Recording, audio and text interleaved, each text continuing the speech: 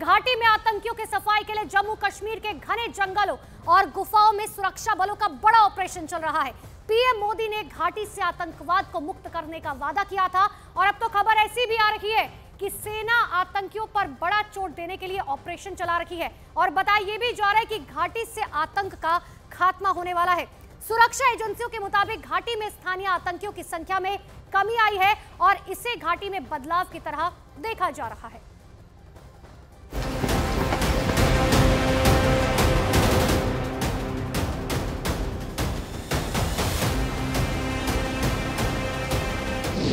एक भी आतंकी नहीं बचेगा।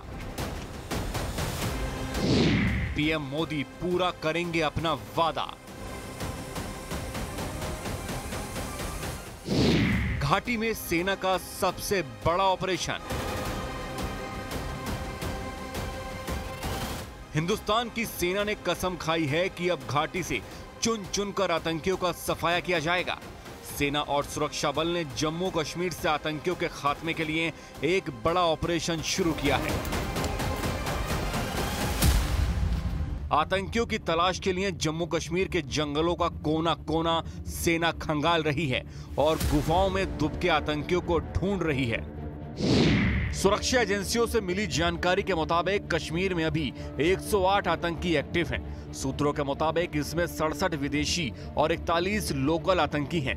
विदेशी आतंकियों में कुछ घाटी में मौजूद हैं तो कुछ सीमा पार से साजिश रच रहे हैं ये आतंकी या तो पाकिस्तान में बैठे हैं या पीओके से दहशतगर्दी के मॉड्यूल को ऑपरेट कर रहे हैं, जिन्हें भारत में बैठे आतंकियों के मददगारों से मदद मिल रही है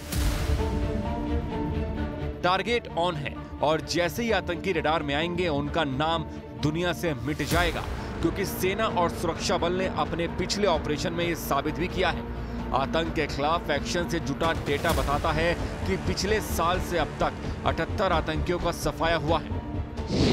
जम्मू कश्मीर में साल 2024 की शुरुआत से अब तक सात आतंकी ढेर हो चुके हैं। 2023 में इकहत्तर आतंकी मारे गए थे, जिसमें 48 पाकिस्तानी और 23 घाटी से थे। 2022 में एक सौ तिरासी आतंकी ढेर हुए थे, जिसमें छप्पन विदेशी और एक सौ सत्ताईस स्थानीय थे। 2021 में एक सौ इक्यासी आतंकी मारे गए, जिसमें 30 पाकिस्तानी और एक सौ इक्यावन घाटी से थे। इस साल सेना और सुरक्षा बल ने तीन पाकिस्तानी और दो स्थानीय आतंकियों को ढेर किया। इसके बाद कुछ दिन पहले ही दो आतंकियों को कश्मीर में मार गिराया गया और इस साल मारे आतंकियों की संख्या सात पहुँची है। सुरक्षा एजेंसियों के मुताबिक घाटी में स्थानीय आतंकियों की संख्या में कमी आई है और इसे घाटी में बड़े बदलाव की तरह देखा जा रहा है। यही नहीं, सुरक्षा बलों ने अपने ऑपरेशन से घुसपैठ की कई कोशिशों को नाकाम कर आतंकियों के मंसूबों पर पानी फेर दिया है। पिछले साल 12 आतंकियों ने घुसपैठ की कोशिश की और सभी आतंकी नाकाम रहे।